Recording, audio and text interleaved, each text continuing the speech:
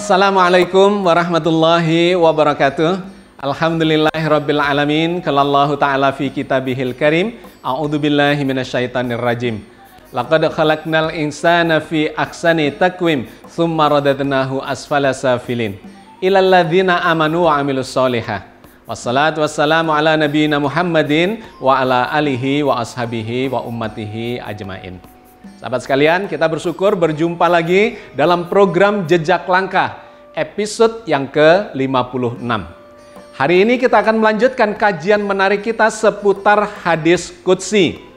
Hadis Qudsi adalah hadis yang disucikan dikarenakan disandarkan kepada firman Allah, tetapi diklasifikasikan sebagai bukan bagian dari Al-Quran. Firman tetapi bukan bagian dari kitab suci Al-Quran. Kita sudah membahas tentang ini secara umum pada episode yang lalu bahwa hadis itu ada dua macam. Yang pertama adalah hadis Nabi yang meriwayatkan tentang apa saja yang diteladankan, diucapkan, ditegaskan, disampaikan oleh Rasulullah. Dan yang kedua adalah hadis kutsi yang disandarkan kepada firman-firman Allah. Menarik, hadis Qudsi ini menjadi kontroversi dikarenakan beberapa hal. Di antaranya ada pertanyaan, kenapa firman Allah kok tidak dimasukkan ke dalam kitab suci Al-Quran? Dan ternyata kalau kita cek kemudian, hadis Qudsi ini diriwayatkan seperti hadis-hadis yang lainnya. Sehingga teksnya, redaksinya itu tidak standar seperti Al-Quran melainkan berbeda-beda seiring dengan para periwayatnya. Karena itu untuk memahami tentang hadis kudsi ini kita akan belajar studi kasus terkait dengan beberapa redaksi yang ada di dalam hadis kudsi itu. Di episode yang lalu kita telah mengambil studi kasus terkait dengan infak atau nafkah atau membelanjakan harta benda di jalan Allah. Hari ini kita akan mengambil kasus yang lain lagi dari hadis Qudsi, yaitu terkait dengan berita bahwa Allah itu turun ke langit dunia di sepertiga malam yang terakhir. Diberitakan oleh sejumlah hadis Qudsi, nanti akan kita coba kritisi ketika dicocokkan, di cross check dengan kitab suci Al-Quran Al-Karim. Kenapa kita mesti melakukan pengkritisan terhadap hadis Qudsi? Dikarenakan ternyata redaksi hadis kudsi ini berbeda-beda seiring dengan periwayatan, sanatnya berbeda-beda, sehingga terjadilah kualitas yang berbeda-beda. Ada yang sahih, ada yang hasan, ada yang di bawahnya hasan, yaitu do'if alias lemah, bahkan ada yang e, atau palsu. Karena itu kita harus melakukan pengkritisan terhadap hadis kudsi ini sebagaimana hadis nabawi yang lainnya.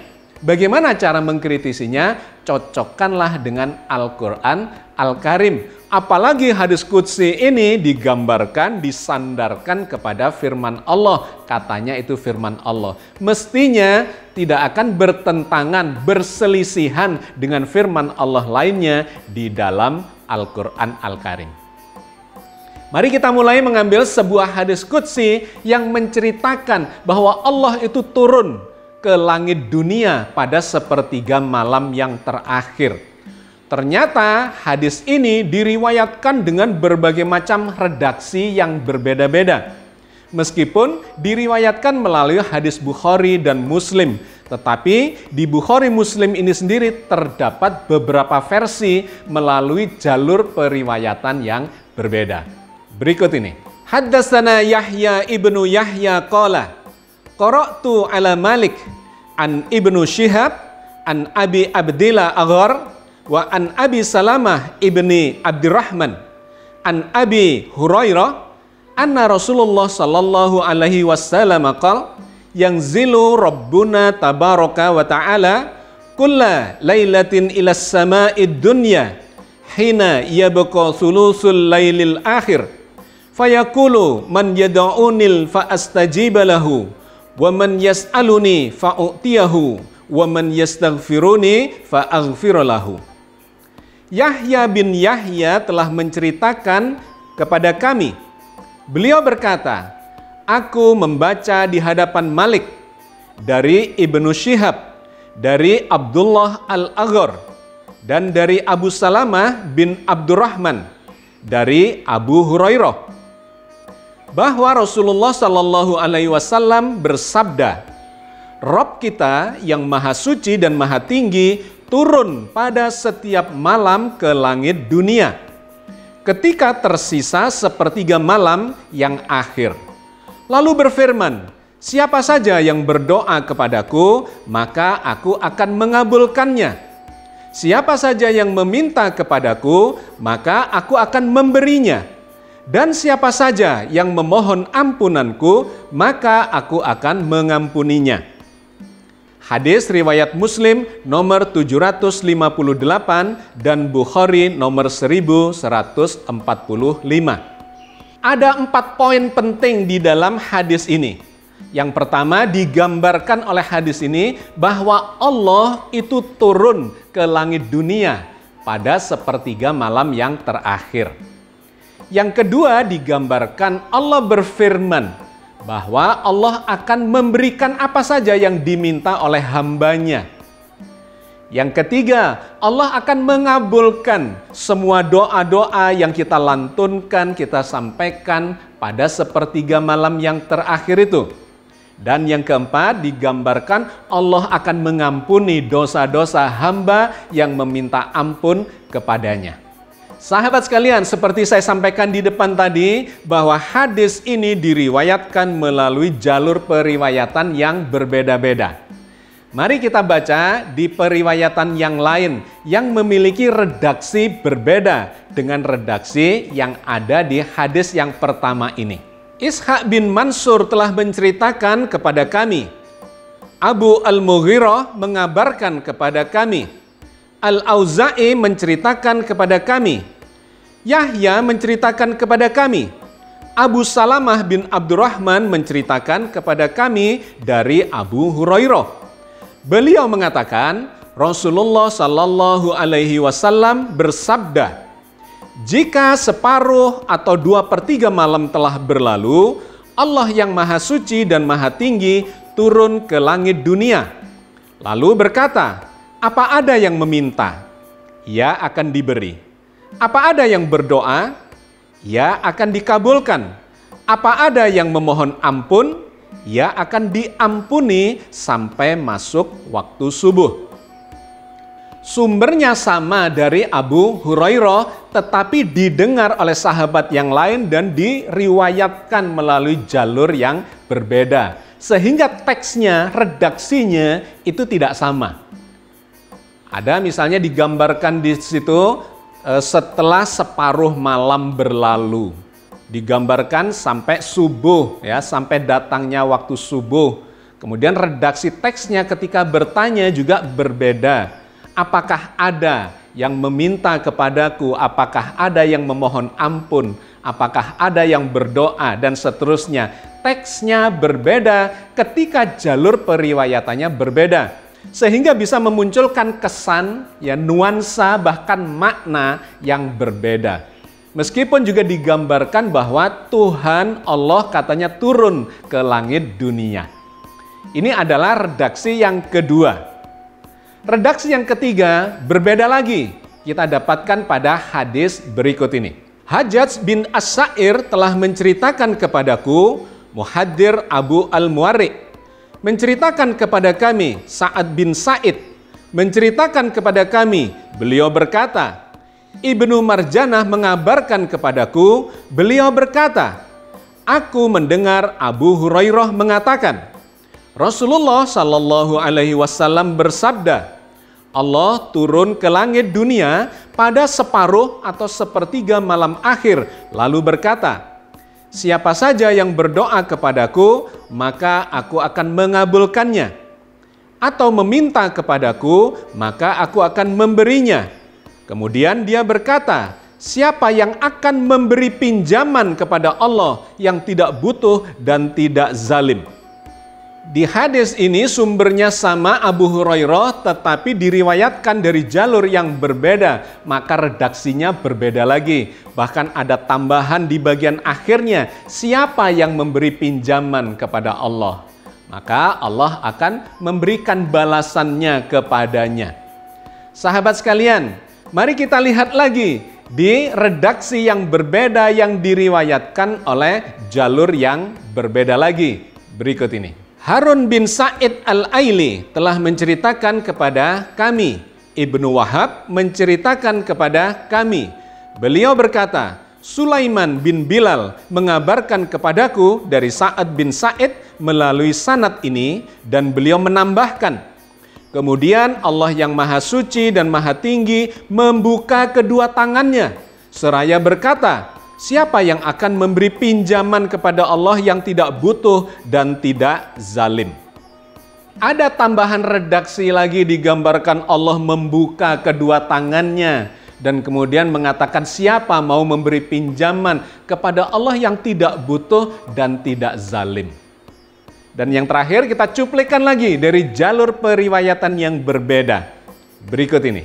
Utsman dan Abu Bakar, dua putra Abu Syaibah, dan Ishaq bin Ibrahim Al-Hanzali telah menceritakan kepada kami. Lafal hadis ini milik dua putra Abu Syaibah. Ishaq berkata, telah mengabarkan kepada kami. Dua orang lainnya berkata, Jarir menceritakan kepada kami dari Mansur, dari Abu Ishaq, dari Al-Aghar Abu Muslim. Beliau meriwayatkannya dari Abu Said dan Abu Hurairah. Keduanya mengatakan, Rasulullah Shallallahu Alaihi Wasallam bersabda, sesungguhnya Allah menangguhkan sampai ketika sepertiga malam pertama telah pergi dia turun ke langit dunia dan berkata, "Apa ada yang memohon ampun? Apa ada yang bertobat? Apa ada yang meminta? Apa ada yang berdoa?" Sampai fajar merekah. Sahabat sekalian, lima hadis ini ingin menceritakan hal yang sama tentang Allah yang turun ke langit dunia katanya dan kemudian memberikan pengampunan, mengabulkan doa dan seterusnya.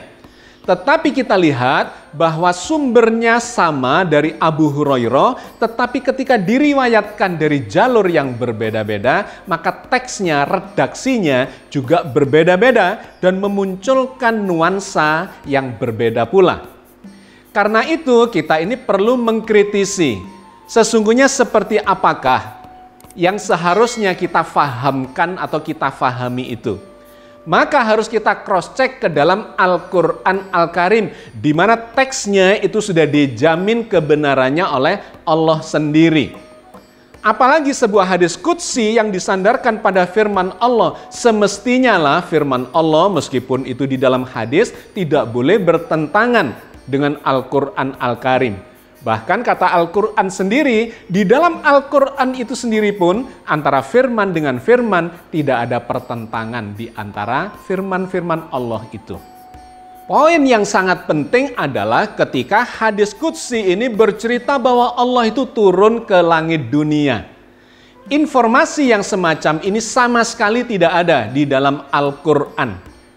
Kenapa? Karena Allah itu menggambarkan tidak terikat di dalam ruang dan waktu. Ketika digambarkan bahwa Allah itu turun dari tempat tinggi menuju ke tempat yang lebih rendah, dari dimensi yang tinggi ke dimensi yang lebih rendah, dari langit entah di mana alam ilahiyah itu kemudian digambarkan turun ke langit dunia, maka itu menyalahi esensi dan substansi terkait dengan eksistensi Allah yang dikabarkan oleh Al-Quran Al-Karim. Misalnya di dalam surat Luqman ayat 29 dan 30 Allah mengabarkan Allah itu adalah zat yang maha besar. Segala yang ada di langit dan di bumi, jagat raya beserta segala isinya itu miliknya belaka. Dan Allah maha besar, adalah tidak masuk di akal kita dan itu menyalahi firman Allah itu turun ke dalam alam semesta bahkan langit dunia. Karena digambarkan oleh Al-Quran sesungguhnya langit itu berlapis-lapis dari langit dunia kemudian sampai langit ketujuh alam akhirat digambarkan bahwa Allah turun ke langit dunia, maka kemudian kita mendapatkan nuansa, imajinasi betapa kecilnya Tuhan yang turun ke langit dunia itu. Tidak mungkin itu terjadi secara akal sehat kita berdasarkan firman-firman Allah di dalam Al-Quran. Allah berfirman dalam surat Luqman 29 dan 30 ini. Alam taro anallaha yulijul laila fin nahari wa yulijun nahara fil laili wa syakhar syamsa wal qamara kullu yajri ila ajalim musamma wa anallaha bima ta'maluna khabir. Tidakkah kamu memperhatikan bahwa sesungguhnya Allah memasukkan malam ke dalam siang dan memasukkan siang ke dalam malam. Dan dia tundukkan matahari dan bulan masing-masing berjalan sampai kepada waktu yang ditentukan. Dan sesungguhnya Allah maha mengetahui apa yang kamu kerjakan. Dzalika bi annallaha huwal haqqu wa anna ma yad'una min dunihil batilu wa annallaha huwal aliyul kabir. Demikianlah karena sesungguhnya Allah dialah yang hak dan sesungguhnya apa saja yang mereka seru selain dari Allah itulah yang batil. Dan sesungguhnya Allah dialah yang maha tinggi lagi maha besar. Dengan sangat tegas Allah menggambarkan seluruh alam semesta, jagat raya ini, benda-benda langit, matahari, bulan, pergantian malam dan siang hari, semua itu adalah di dalam kekuasaannya. Dialah yang menciptakan, dialah yang mengendalikan, yang memelihara, dan akhir dari ayat itu mengatakan Allah itu maha tinggi, lagi maha besar. Lebih besar mana Allah dengan alam semesta? Tentu saja lebih besar Allah. Bukan Allah berada di dalam alam semesta sehingga digambarkan bergerak ke sana kemari, bisa naik, bisa turun dan seterusnya. Tidak ada itu di dalam Al-Qur'an. Bukan Allah berada di dalam alam semesta, tetapi alam semesta ini yang berada di dalam Allah.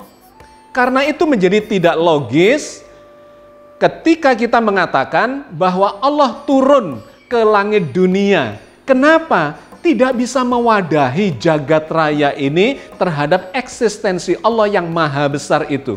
Gak cukup jagat raya ini. Justru jagat raya ini berada di dalam kebesaran Allah itu.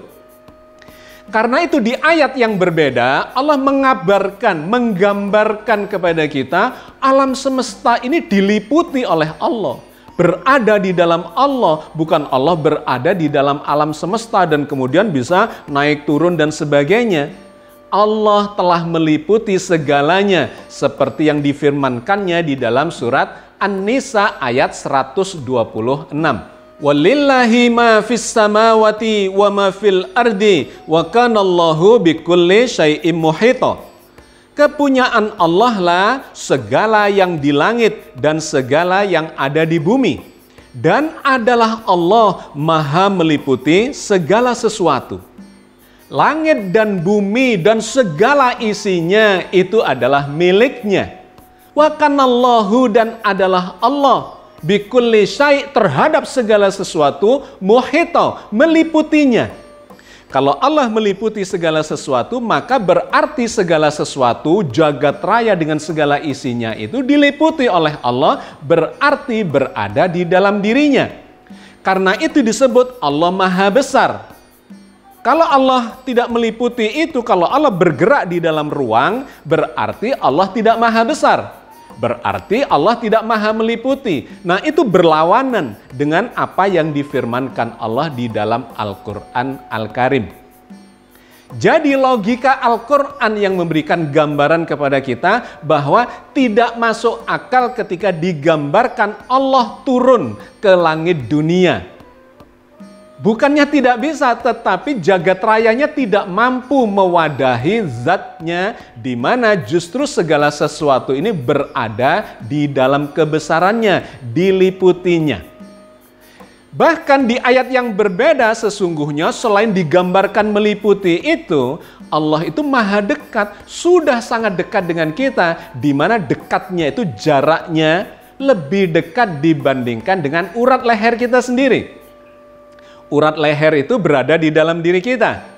Kalau Anda ditanya seberapa jarak Anda dengan urat leher Anda, maka Anda tidak bisa mengukurnya Kenapa? Karena urat leher sudah berada di dalam diri kita. Tidak ada jaraknya. Tetapi Allah mengatakan Allah lebih dekat kepadamu daripada urat leher yang sudah tidak ada jaraknya itu. Jadi kita ini terendam di dalam zat Allah. Allah berfirman tentang itu misalnya di dalam surat Qaf ayat 16. Walaqad khalaqnal insana wa na'lamu ma tuwaswisu bihi nafsuh wa nahnu akrabu ilaihi min hablil warid.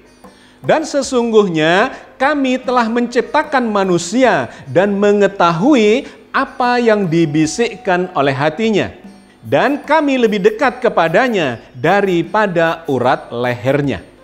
Jadi Allah itu sudah sedemikian dekatnya Kenapa mesti digambarkan turun lagi? Karena sudah senantiasa bersama dengan kita. Yang demikian ini bertaburan di dalam Al-Quran Al-Karim. Misalnya dalam surat Al-Baqarah 186, Allah menggambarkan kalau ada yang bertanya kepadamu Muhammad tentang aku Allah, katakanlah aku dekat. Dan aku mengabulkan doa-doa orang yang berdoa kepadaku. Begini, surat Al-Baqarah 186. Wa idza sa'alaka ibadi anni fa inni qarib ujibu da'watad da'i idza da'ani falyastajibuli wal yu'minu bi la'allahum yarshudun. Dan apabila hamba-hambaku bertanya kepadamu tentang aku, maka jawablah bahwasanya aku adalah dekat. Aku mengabulkan permohonan orang-orang yang berdoa apabila dia bermohon kepadaku. Maka hendaklah mereka memenuhi segala perintahku dan hendaklah mereka beriman kepadaku agar mereka selalu berada dalam kebenaran. Jadi pengabulan doa itu tidak perlu digambarkan dengan Allah turun dari langit, ya dari langit alam ilahiyah, kemudian turun ke langit alam dunia. Tidak perlu digambarkan seperti itu karena Allah sudah meliputi segalanya, bahkan sudah senantiasa bersama kita, lebih dekat kepada kita daripada urat leher kita. Sehingga surat Al-Baqarah 186 ini dengan sangat tegas mengatakan, kalau ada hamba yang bertanya kepadamu Muhammad tentang aku, katakan aku ini sudah dekat. Lebih dekat daripada urat lehernya.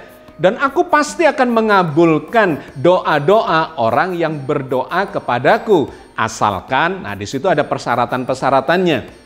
Mereka memenuhi perintahku. Mereka beriman kepadaku ya supaya mereka tetap berada di jalan yang benar untuk mendapatkan pengabulan doa itu tapi poin pentingnya adalah Allah sudah mengklarifikasi, sudah mendeklarasi bahwa dia sudah begitu dekatnya kepada hambanya. Tidak perlu digambarkan seakan-akan Allah itu non jauh di sana dan kemudian turun ke dunia untuk mengabulkan doa. Termasuk untuk mengampuni, tidak perlu digambarkan turun ke langit dunia, Allah berfirman di dalam surat Az-Zumar ayat 53 tentang pengampunan dosa itu kepada orang yang berlebihan, ya melampaui batas dalam berbuat dosa. Qul ya ibadiyalladzina asrafu ala anfusihim la taknatu min rahmatillah innallaha yaghfirud dunuba jami'a innahu huwal ghafurur rahim.